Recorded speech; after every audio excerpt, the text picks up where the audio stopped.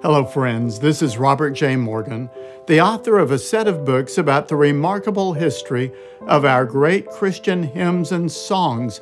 Then Sings My Soul, Book 1, Book 2, and Book 3.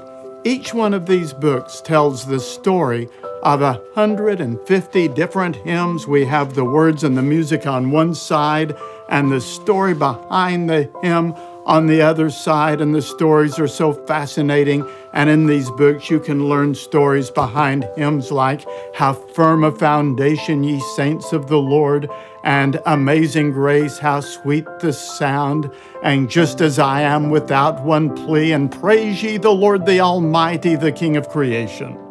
I think it's very important for us to retain these hymns because over the past few years, I've been alarmed at how quickly we have lost or narrowly lost 4,000 years of biblical and Christian hymnody in one fleeting generation.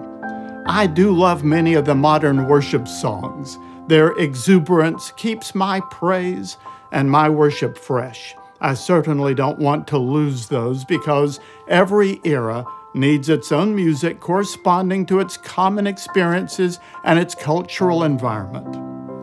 But something terrible has happened in the Western Church.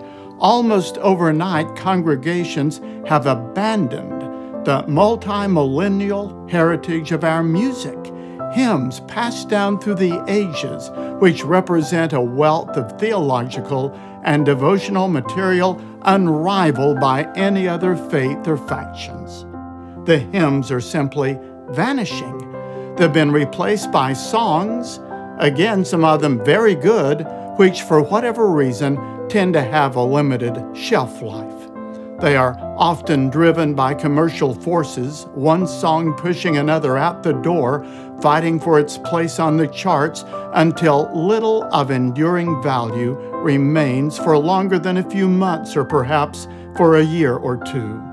The short duration of today's Christian music coupled with the loss of the hymns, means that younger believers are no longer developing a lifelong canon of psalms, hymns, and spiritual songs to sustain them through the pilgrimage of life. Let me speak personally. I learned a rich handful of hymns in my mother's arms as I was growing up. I sang them all through my childhood, all of my life, and I may well sing them on my deathbed, Lord willing. In other words, they have been a lifelong legacy to me. I've sung them periodically for 65 years. But in today's church, the disposable nature of our music makes it difficult to establish a lifelong, lifetime soundtrack for our souls.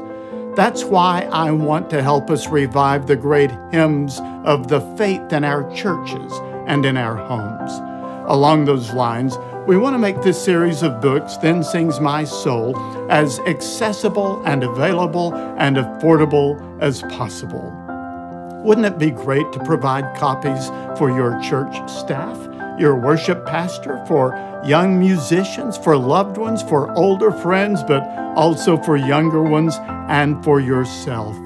In doing so, you will be passing along 4,000 years of biblical and Christian hymnody with all of its richness and reassurance.